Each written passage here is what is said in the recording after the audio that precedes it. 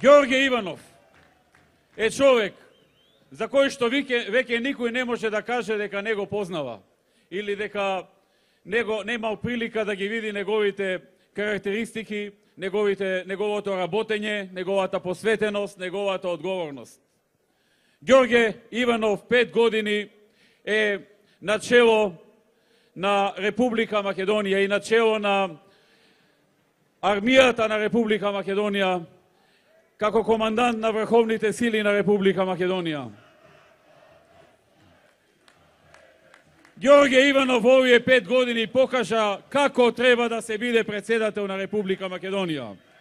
Како треба да се бранат државните и националните интереси на Република Македонија на секаде ни светот и внатре во земјата. Ѓорѓе Иванов достојно ја представуваше Македонија на секаде. Беше многу активен, беше многу борбен. Секаде се бореше и стигнуваше да лобира за Македонија во секое место, на секој настан, кај секоја значајна личност во светот која на некој начин може да влијае на еднината на Македонија. Кога беше потребно, Ѓорѓе Иванов беше во Америка, кога беше потребно, беше во Русија, кога беше потребно во Кина, во Германија, во Англија, на секаде онаму каде што можеше да и се помогне на Македонија, на македонскиот народ и на сите граѓани на Република Македонија.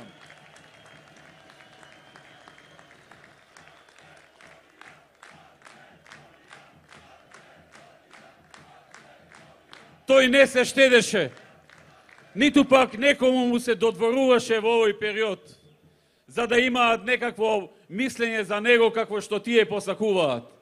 Него го интересираше да и помогне на собствената држава, на собствениот народ, на собствениот граѓанин, да и помогне на Македонија.